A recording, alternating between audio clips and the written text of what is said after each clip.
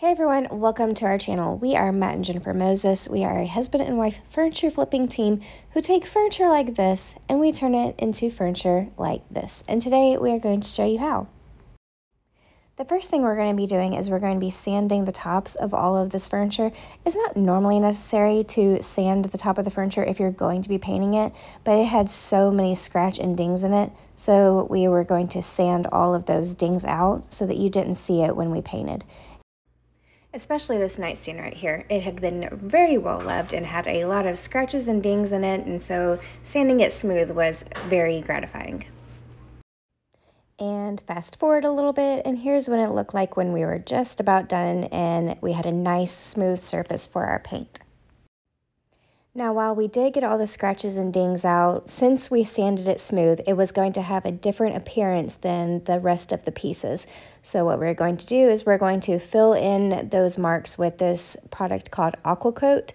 This kind of just levels everything out so that you will not see any sort of grain when we paint.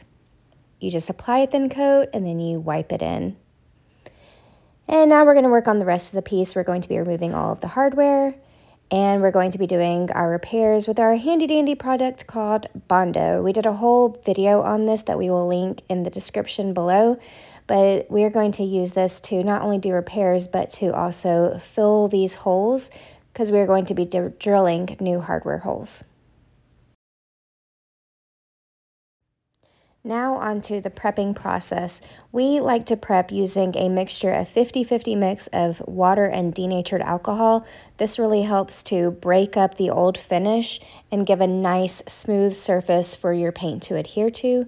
We use our Surf Prep 3x4 electric ray, and if you will notice, I did detach the hose so that no water would get into the system, but we use our maroon cleaning pads. It's a maroon woven pad, and it really helps to get in there, but it's not necessary. You can use a green Scotch-Brite pad, but since we do this full-time and we have a lot of pieces that we're working on, this really helps make our prepping process very easy and very quick. After we spray the denatured alcohol mix and sand it, we will go back with a damp rag and wipe it clean. And now that the aqua coat has dried, we are going to go in and just kind of buff sand this out. And we're also going to sand smooth the areas that we did the Bondo repairs on. Now we are going on to drilling new holes for new hardware and this is a very handy tool called the Tourace Cabinet Hardware Jig. It creates a template for you to get the exact same hole spacing every single time. So when you're drilling multiple holes like for cabinet doors or like these drawers for instance, it makes it such a breeze. And now we're going to be spraying shellac so that we don't have any bleed through in any areas and we're going to be going in with our tinted primer. This is actually very close to the color that we're going to be painting this in. We've tried a lot of products from a lot of different companies and we have settled on the product called Milesi. It's an Italian paint company, but it is local here in Birmingham, and there is a paint supplier that can tint our paint colors to pretty much any big box store color that we choose. So we're able to really expand to our clients the colors that they can pick from. And it also has like a built-in hardening agent that makes the product super, super durable. Um, it's not in this product that is the primer right here, but they can also tint the Milesi primer to be very dark so that we don't have to use as much product when we paint.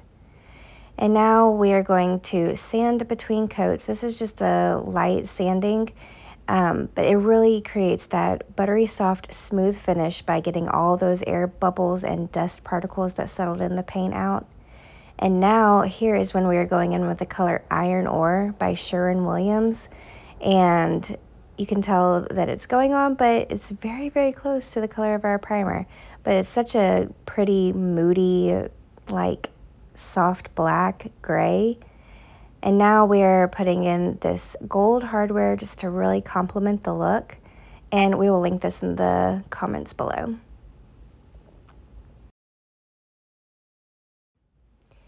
Now we're going to be moving on to one of my favorite parts, which is the staging and photoing and editing process. I always like to change out the decor according to the seasons. So right now I'm loving these winter prints that I got from Etsy. I like to incorporate different levels of books and candles and some sort of plant. And now you can see a behind the scenes of how I'm finishing out a reel. But in doing this, I realized that in the beginning of my reel, I had this all flipped around. So here I am moving furniture in our garage, getting ready to finish a reel. And now here I am realizing I still cannot see all the pieces in the frame, so I'm going to have to move it all over and put it all together in another way so that I can fit all the pieces together in the reel. Lots of moving furniture and a lot that goes into finishing off the perfect reel.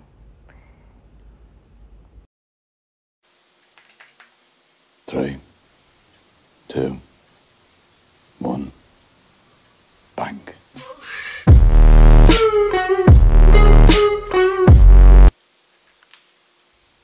hope you enjoyed seeing that behind the scenes of how those reels are created. This is the finished product. We are Matt and Jennifer Moses. Like and follow for more.